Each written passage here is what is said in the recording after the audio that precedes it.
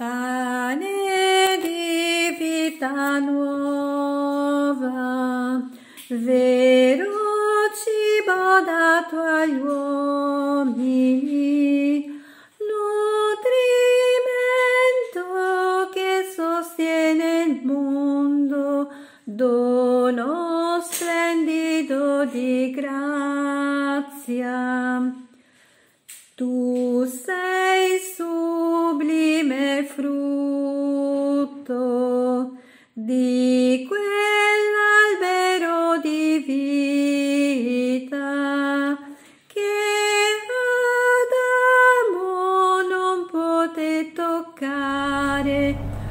Laudetur Jesus Christus, Ave Maria.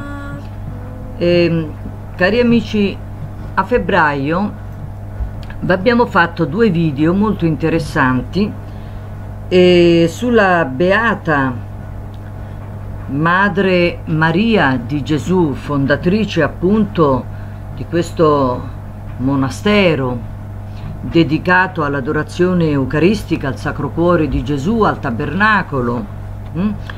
e della beata appunto Suor Maria eh, de Louis Martini e io devo eh, confessare che non sapevo che ci fosse una comunità a Roma e che appunto i suoi resti venerabili eh, sono lì nella chiesa di, eh, del monastero di via dei Villini 34 a Roma. Subito dopo Porta Pia per chi viene dal centro di Roma dalla stazione Termini magari portandosi verso appunto eh, Porta Pia e poi eh, c'è questa traversa, questa via dei Villini dove lì c'è questa comunità. Io non lo sapevo, l'abbiamo scoperto con Massimiliano, la Anna e l'Angelica che siamo andati in un piccolo pellegrinaggio eh, l'11 maggio per preparare anche appunto le consacrazioni del 13 maggio alla Vergine di Fatima. Ecco, abbiamo fatto quel piccolo pellegrinaggio, cominciato da Santa Maria Maggiore, la messa, la venerazione a San Pio V, e alla Madonna Regina della Pace, la statua che c'è all'interno della basilica, e, mh, fatta erigere proprio da Benedetto XV per ottenere la pace per il conflitto della prima guerra mondiale. So, come vedete è un po' tutto collegato. Ecco, io ho scoperto che c'era lì, eh, pensavo che fossero a Venezia. Ora mh, mm, eh, può sembrare una curiosità di poco conto, no, perché io eh, pensavo così non, che non ci sarei mai più potuto andare a venerare eh, eh, questa beata che avevo scoperto da poco quando ero a Venezia. E, e invece eh, io tornando a Roma ho, ho, ho e avrò questa opportunità quindi abbiamo avuto un colloquio con la madre generale, la madre superiora, veramente edificante, veramente bello. Con Massimiliano, l'Anna e l'Angelica facevamo questa considerazione però, che bello, sentirle parlare, i consigli che ci hanno dato,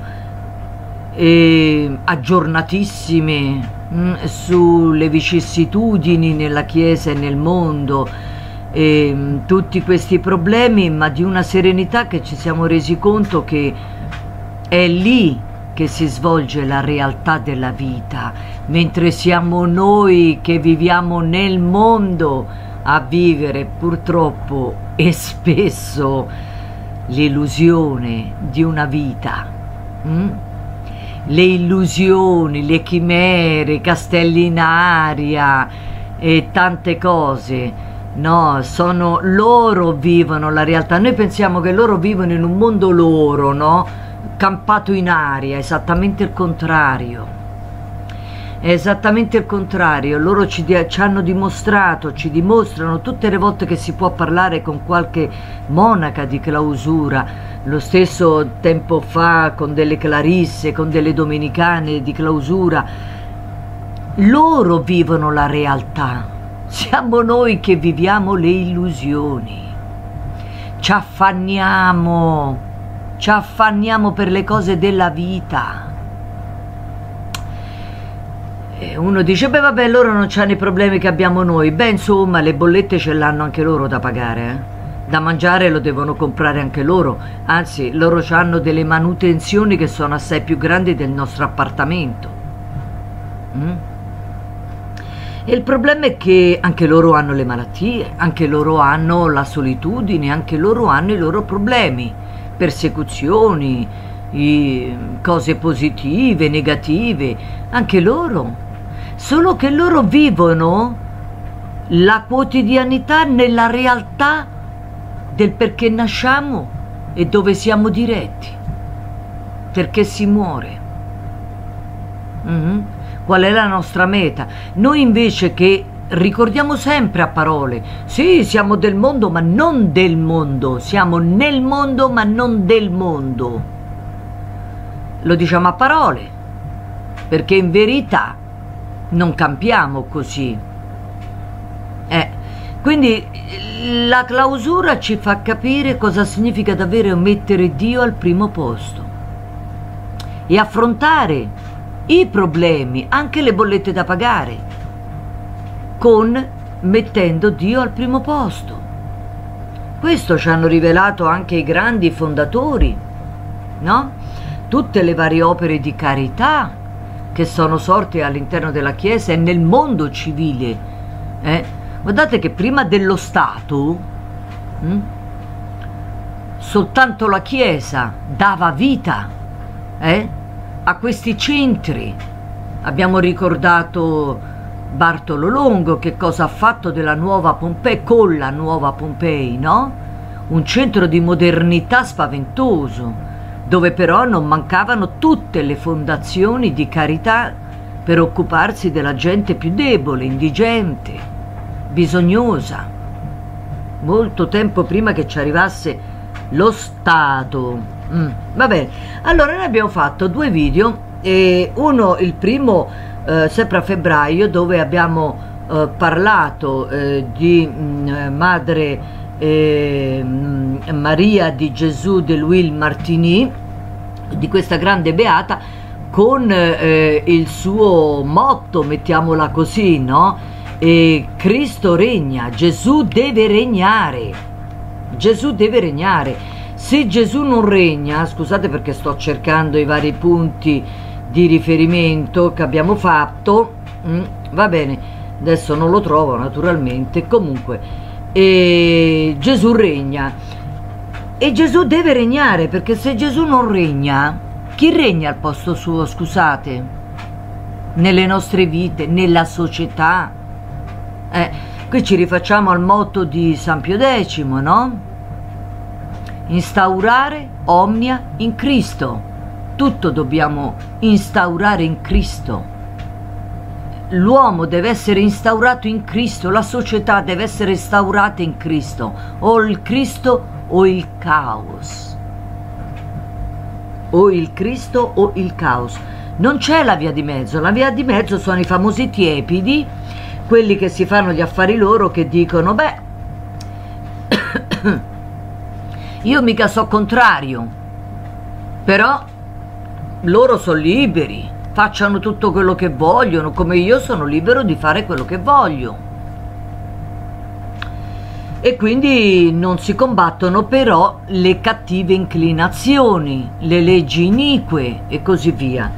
Allora, quindi un primo video l'abbiamo fatto sulle parole di eh, Madre Maria di Gesù eh, Martini eh, scusate ma io quando c'è eh, qualche cognome straniero, qualche cosa vado in pallone, perché sono davvero un ignorante nelle lingue in tutto. Allora, eh, quindi mi impappino. Abbiamo fatto questo Gesù deve regnare. Gesù regna, deve regnare. Mm. Ed è un po' il motto che è poi quello che scaturisce dal Sacro Cuore di Gesù, dalle apparizioni eh, di Santa Maria la Cocque e eh, vi ricordo che que queste fondazioni sono molto legate tra loro, hanno tutte a che vedere con le apparizioni del Sacro Cuore di Gesù. Poi abbiamo fatto un secondo video che riguarda proprio questo amore della madre Martini al papato, alla sede petrina. Addirittura arriverà a fare una petizione perché era in dubbio tra molti cattolici, in discussione se fare o non fare, se era giusto che Pio IX avesse chiesto questa cosa dell'infallibilità, loro naturalmente appoggiano il Papa e quindi raccoglieranno firme, farà raccogliere firme per sostenere il pontefice. Ecco, ehm, quindi i, i, santi, i santi ci insegnano come dobbiamo operare in questa valle di lacrime, semplice, tutta questa pappardella che non è sprecata perché anche l'esperienza della nostra vita personale con questi cenacoli di preghiera che adesso abbiamo affidato alla Madre Superiora eh, che è stata veramente gentilissima eh, perché ci porterà all'adorazione eucaristica e noi abbiamo promesso di pregare per loro e quindi per queste vocazioni. Ecco, siamo andati lì dalla madre. Ecco ve lo faccio vedere così. Ecco siamo andati che c'è la tomba della madre Martini eccola quanto è bella. Ma hanno una pace questi santi e ci si starebbe ore guardate ore ecco che preghi per noi la Beata Martini e aiuti anche per le vocazioni. Allora adesso vorremmo fare un, un ulteriore passaggio dai suoi scritti. Qui prendiamo un pezzo anche della sua vita che è molto molto interessante. E ehm, allora, ecco, scusate.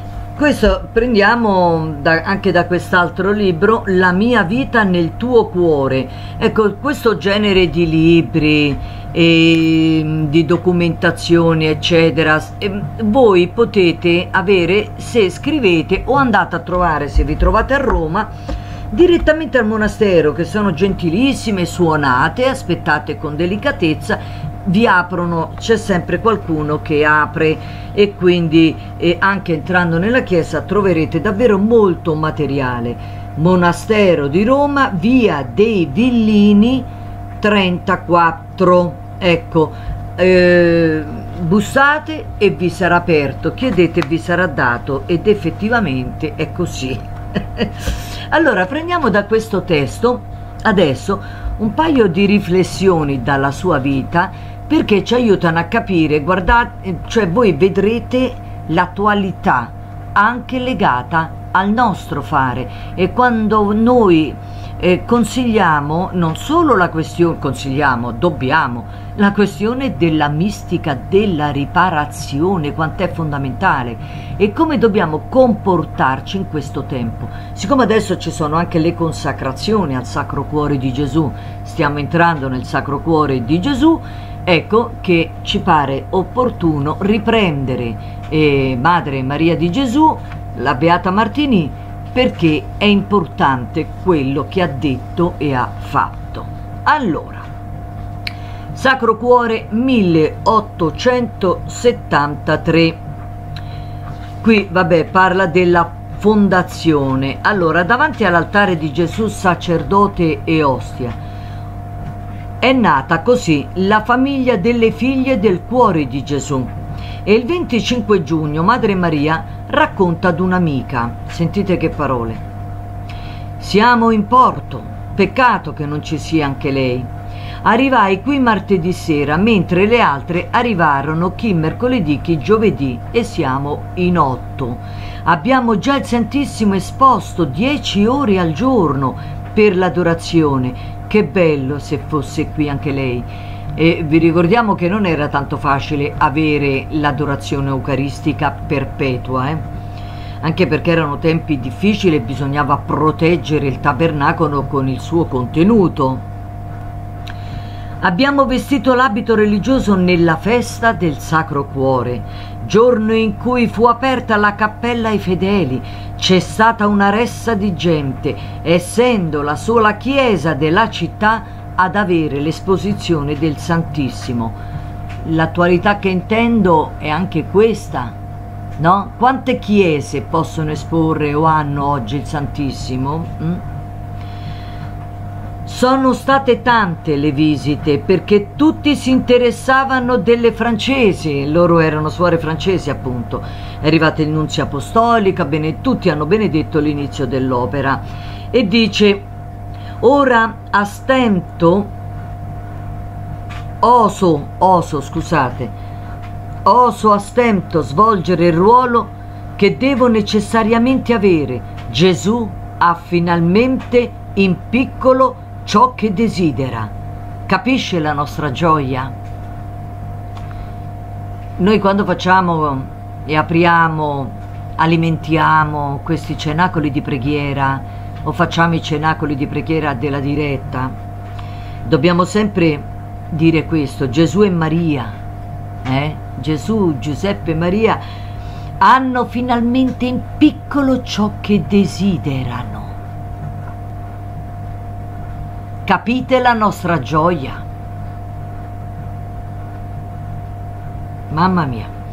E così si mette subito al lavoro Madre Maria di Gesù, condividendo con le sorelle la gioia e il dono compiuto a Dio e le fatiche per l'assetto completo della casa. Comincia così la sua opera di formazione, eccetera, eccetera. Bene. E, ehm, però, però, non è ancora passato un mese dalla fondazione cominciano i calvari. I genitori si lamentano mm, perché sono rimasti da soli, lei e lì, e quindi addirittura chiamano il vescovo, interve- in, fanno intervenire il vescovo e, e padre Calage, il gesuita, suo padre spirituale, un santuomo davvero, e lo stesso Monsignor de Camps, arcivescovo di Malines, e praticamente non glielo possono proprio ordinare ma col loro modo di fare gli dicono che è bene che lei ritorni a casa. Quindi lei molla tutto e obbediendo e obbedendo va dai suoi genitori ad accudirli. Si prende cura di loro e le vengono naturalmente i dubbi ma è giusto che io faccia questo, cioè che vada a fare la fondazione e non mi occupi piuttosto dei miei genitori? guardate, eh? E invece sarà proprio il padre Calage che pur consigliandogli di prendersi, consigliandole di prendersi cura dei propri genitori, però le dice pure questo. Ella sarà il canale della grazia per le anime, ma un canale inanimato. Dio passerà attraverso la sua anima senza che lei se ne accorga. Avvicinandosi a lei si troverà Gesù, ma ella non ne saprà nulla.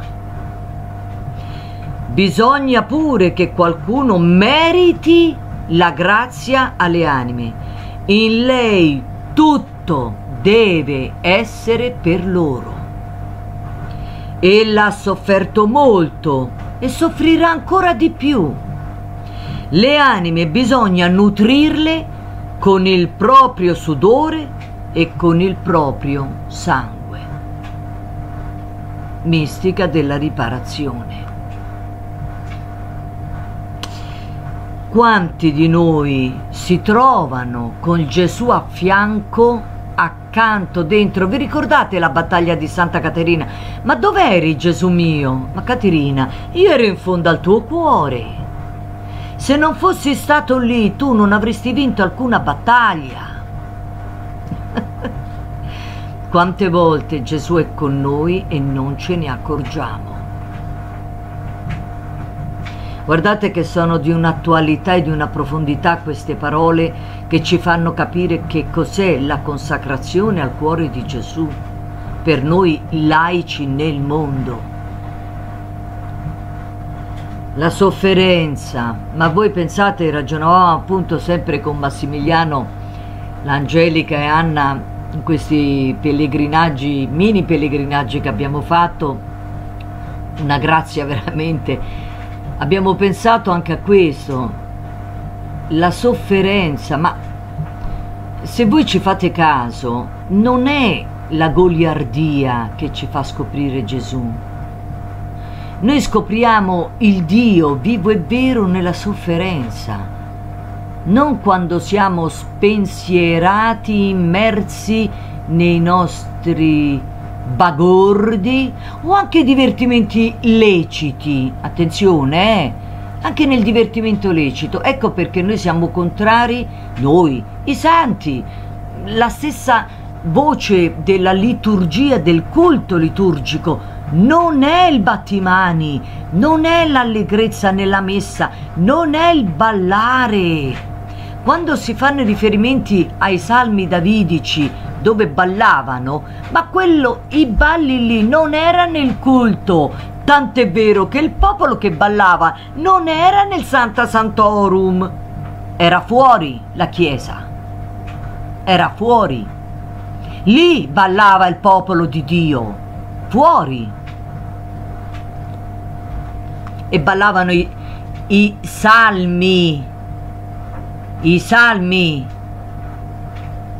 non... eh, e, e, come si chiamano? Io li chiamo le vere pandemie mm, di Gerusalemme, eccetera i, i salmi davidici sono un'altra cosa, il ballo significava altra cosa, ma non era nel Santa Santorum.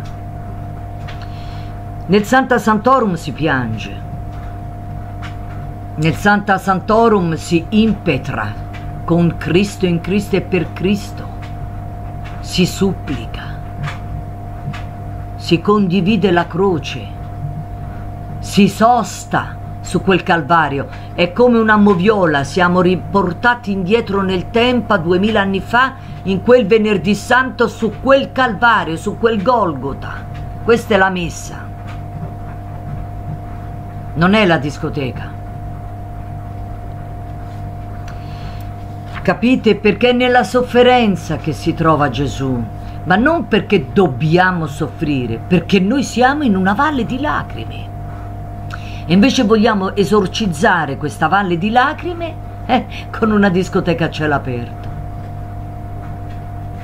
E non si riesce a capire, perché invece quando nel momento in cui si accetta la vera croce, la vera sofferenza, è lì che il Signore ci consola, come fu consolato nel Getsemani. Vi ricordate quel passaggio? Il passaggio nel Getsemani riguarda ognuno di noi prima devi sudare sangue. prima si suda sangue. Solo sudando sangue arriva l'angelo consolatore. Noi invece pretendiamo l'aiuto degli angeli senza sudare sangue. Noi oggi vogliamo tutte le comodità. Non vogliamo sudare. Quindi quante volte Gesù ci è passato a fianco e non ce ne siamo accorti e che deve essere anche così. Ricordatevi Santa Caterina da Siena, quante volte anche noi, Gesù, ma dove sei? Dove eri?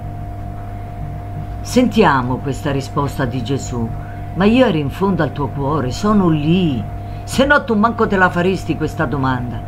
Chi si pone queste domande ha già Gesù nel cuore se se le fa con rispetto, non con sfida e non con rabbia, non con rancore, non con l'odio.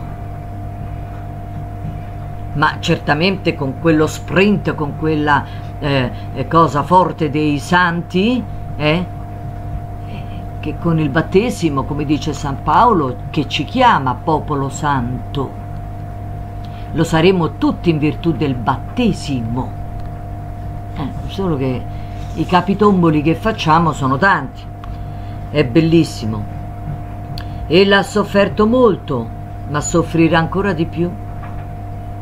Le anime bisogna nutrirle con il proprio sudore e con il proprio sangue.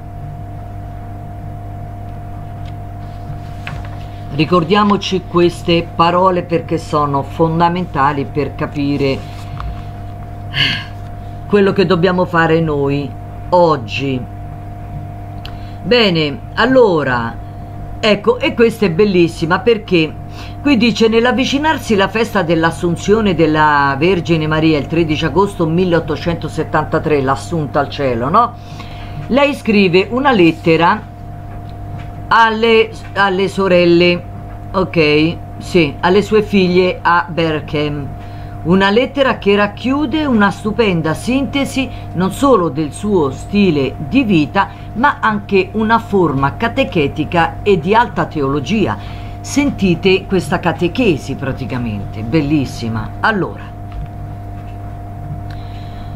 poiché tutte portate il nome benedetto della Santissima Vergine, Suor Maria, tutti gli istituti religiosi, voi pensate, anche i frati domenicani, no? anche molti eh, sacerdoti, molti frati, ecco, usano mettere avanti al nome Maria, oltre, eh, al nome proprio Maria. Ecco, è proprio eh, indicativo della protezione e consacrazione alla Santa Vergine. Ecco, quindi 15 agosto, venerdì prossimo, sarò in qualche modo sarà in qualche modo la festa di tutte. La nostra dolce Madre Celeste vi benedica e vi formi e le sue cure materne facciano di voi altrettanti Gesù anime offerte incessantemente nel sacrificio di Gesù e veramente unito a questo sacrificio perfetto, l'Eucaristia. La Vergine Santa ci ha lasciato in eredità, a noi particolarmente, gli ultimi anni della sua vita. Ora, di che fu occupata l'anima e la vita della Madonna in quegli anni pieni di misteri troppo poco meditati? L'Eucarestia, il Calvario e la Chiesa. L'Eucarestia, dove essa ritrovava il suo Gesù, e lo possedeva come noi lo possediamo, lo amava, lo adorava, lo serviva e lo offriva per le mani del sacerdote come purtroppo noi non sappiamo e spesso non vogliamo amarlo, servirlo, offrirlo. Il Calvario, i cui sanguinosi ricordi riempivano la sua anima, dopo dove dopo aver visto soffrire e morire Gesù, straziante dolore sempre vivo nel suo cuore di madre, andava ancora a raccogliere il sangue e i meriti del suo divin figlio per offrirli al Padre Celeste. E il Calvario, dove la sua anima santa si offriva immolata, sacrificata con Gesù. E la Chiesa la Chiesa e gli Apostoli che essa aiutava, sosteneva, formava con le sue incessanti preghiere e una prodigiosa e nascosta immolazione. E questo con un amore e uno zelo attinti nel divino incendio del cuore di nostro Signore Gesù Cristo. Ecco il modello, sorelle mie, guardatelo, meditatelo di continuo e imitatelo. Mamma mia. Ecco, questa è una vera e grande teologia che sgorga dalla contemplazione viva e penetrante del mistero di Cristo stesso, al quale in primo luogo è associata sua madre. Eh. È la luce e il fuoco che discende nel cuore di Maria de Louis Martini e la invade come un cristallo da cui dilaga, illumina e riscalda coloro che l'avvicinano. Ecco, e così scrive ancora alle sorelle rimaste a, rimaste a Berchem. Unione continua, sorelle care, unione continua al sacrificio dell'altare, offerta spirituale ininterrotta del calice innalzato dalle mani del sacerdote. Ricordo costante dei dolori del Salvatore crocifisso e specialmente del martirio del suo cuore adorabile. Il Calvario c'è ancora. La croce è inalberata sul Calvario eucaristico. Gesù si offre, si immola continuamente ma misticamente e siamo noi che dobbiamo essere in certo modo le vittime cruente di questo sacrificio. Ecco, care sorelle e amatissime figlie, la nostra missione. Ricorriamo a colei che è onnipotente nell'intercessione. Mamma mia, c'è di che tremare. Questa è la mistica della riparazione. Ma vedete, tutti i santi parlano così.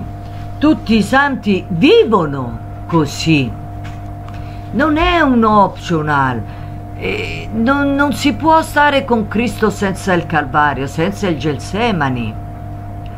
Non si può pretendere la consolazione degli angeli se non stiamo patendo qualche cosa. Invece vedete il nostro patire noi l'abbiamo chiuso e rinchiuso esclusivamente nelle bollette da pagare. Importantissime, ovvio, l'affitto, altrimenti stai, ti ritrovi in mezzo a una strada. E quindi la ricerca di un lavoro, se no non si può mettere su famiglia. Io penso, noi pensiamo spesse volte, preghiamo per loro, i giovani, che sono veramente in profonda crisi, vi abbiamo consigliato, credete davvero nelle novene, nella preghiera, l'abbiamo fatto col Bartolo Longo, pregate quella novena che è potentissima, la quale ricorreva Padre Pio per risolvere i suoi problemi. Padre Pio ricorreva a quella novena. Certo non sono magie. Padre Pio come le ha pagate le grazie che riceveva? Oh sì, ha fatto miracoli Padre Pio anche in vita. Ha concesso molte grazie supplicando il Signore, ma come le ripagava? Ma che vi credete che era gratis ciò che faceva Padre Pio con il Signore che otteneva da Gesù quello che otteneva? Come lo ha pagato Padre Pio? E lo stesso Don Dolindo Ruotolo, per avere quelle grazie che riusciva a far avere agli altri. Questi sacerdoti, questi santi, come pagavano sulla loro pelle? Noi riceviamo le grazie se però siamo in grado di unirci a quella passione di Cristo, a quel cuore. È lì che compiamo miracoli, ma non perché li facciamo noi con le nostre mani e con la nostra eh, brutta faccia, eh, ma perché se rispecchiamo, riflettiamo in noi quella luce, quel cuore, quelle piaghe, chi in un modo, chi nell'altro.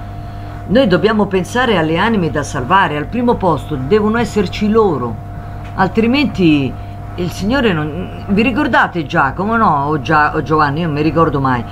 E pregate, cioè vi lamentate perché pregate e non ottenete. E certo che non ottenete perché pregate male. Perché chiedete quello che vi fa comodo. Per quello non ottenete. Ecco, e poi c'è un altro bel libretto che hanno fatto le suore che noi vi consigliamo, tratto dal suo diario. Vi ricordiamo che potete ottenere tutto eh, andando a trovare eh, Monastero di Roma, via dei Villini 34. Ecco, le figlie del cuore di Gesù. Figlie del cuore di Gesù Monastero Roma, via De Villini 34. Andateli a trovare, per chi non può naturalmente scriveteli e sicuramente vi faranno avere qualche materiale. Tra l'altro c'è anche la storia bella dello scapolare. Avevamo detto che l'avremmo fatto, speriamo di mantenere la promessa tra qualche mm, giorno. Ecco qui e quindi non avere che un amore, Gesù. Ecco anche questo, molto bello, è la raccolta dalle sue lettere. E adesso vi, le vi leggiamo questa brevissima del 11 agosto 1872 perché guardate ci riguarda. È pazzesco sono di un'attualità che vedevo dire. Eh, questa appunto la beata madre Maria di Gesù de Louis Martini sentite che cosa diceva. Non è che per Gesù con Gesù e in Gesù che noi possiamo glorificare Dio senza l'unione a Gesù, i migliori atti non rendono alcuna gloria a Dio. Occorre dunque offrire Gesù al Padre Celeste per rendergli gloria. Mm? Vi ricordiamo che ci sono quelli che pretendono di separare queste feste della Santissima Trinità, una festa solo al Padre, una messa solo per il Padre, una per lo Spirito, uno per il Figlio. Il figlio che fa si offre a se stesso, non lo so, fa ridere un po' la cosa. Ma scusate, la messa che cos'è? La messa è l'offerta di Gesù al Padre. È il massimo, cioè oltre non c'è nulla. Non c'è nulla che superi il sacrificio eucaristico, non c'è nulla di sacrificio perfetto da offrire al Padre. Dice, ma noi, noi ci uniamo a quella patena. Il, la patena è, è quel piattino dove il sacerdote depone l'ostia durante eh, l'offertorio che poi sarà consacrata e diventa, ecco, il, il, corpo e il sangue di Cristo. Noi veniamo deposti lì con Cristo, in Cristo, per Cristo. Chiaro? Eh, ecco perché dobbiamo essere confessati, dobbiamo stare attenti a non fare comunioni sacrileghe Dobbiamo stare attenti a non fare profanazioni eh, sacramentali, confessionali, eucaristiche, bla bla bla bla bla bla. Come vedete questa è pura dottrina, è puro catechismo anzi. Eh? I santi facevano catechismo con queste quattro parole che dicevano perché ce l'avevano nel cuore e lo volevano. Quindi Occorre dunque offrire Gesù al Padre Celeste per rendergli gloria.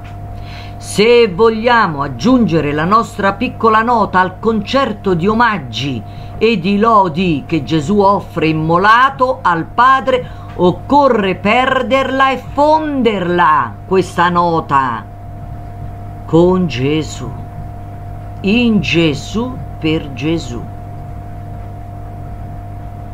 La gloria del Padre è di ricevere in continuazione l'oblazione del suo figlio immolato e in suo figlio quella di tutti gli uomini salvati, rigenerati, ridiventati suoi figli, uniti all'immolazione di Gesù con Gesù, che tutti gli uomini lontani dal Padre a causa del peccato diventino suoi figli in Gesù Cristo e che essi siano fatti con Gesù un medesimo olocausto, una medesima vittima immacolata a gloria del Divin Padre. E tutto questo per mezzo di chi avviene? Dello Spirito Santo.